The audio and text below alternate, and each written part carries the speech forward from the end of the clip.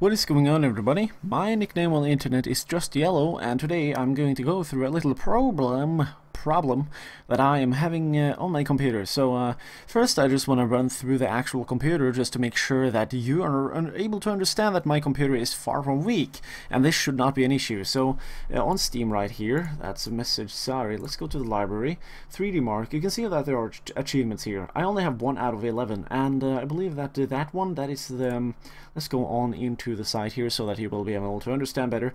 There is an achievement which is called It's Over 9000.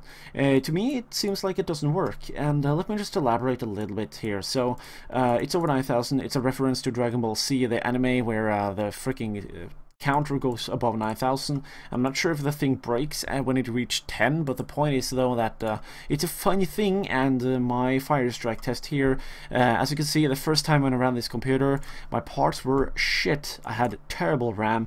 My uh, CPU, which is obviously overclockable, I, it wasn't just about not overclocked.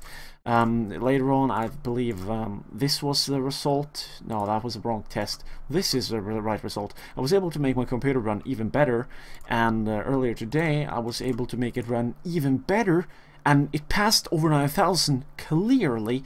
I don't even understand why I didn't get the achievement by then.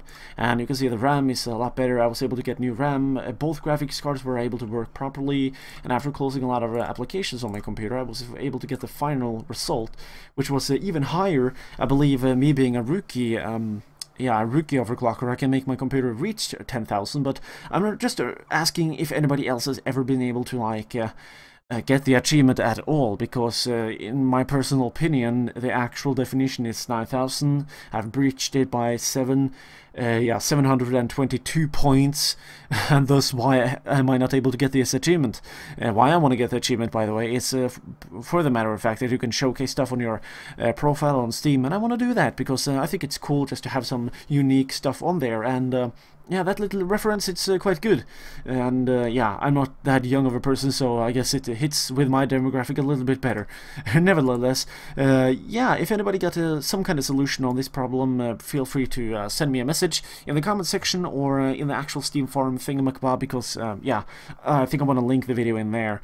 and on that note, I believe if you're going to suggest me overclocking my computer even further just to be able to run the test and get the 10,000 score thingamacbob, I'm going to do that anyways. I'm just asking if anybody know if this is a permanent issue for me, thus I will be unable to fix it, or if it's just something that's clocked to 10,000 points in uh, Fire Strike. So, yeah, on that note, I don't think there is anything more to say. If you decide to check out my channel, I do gaming stuff in uh, the highest of quality, even though, again, I'm a fast-paced shooter kind of guy. So, oh boy, one of, uh, another one of those. Anyways, just thought I would mention that. Nickname is Yellow. Any support and help is appreciated. And as always, people, I just gotta say it because I do it in all the videos, you know. Don't get beastified.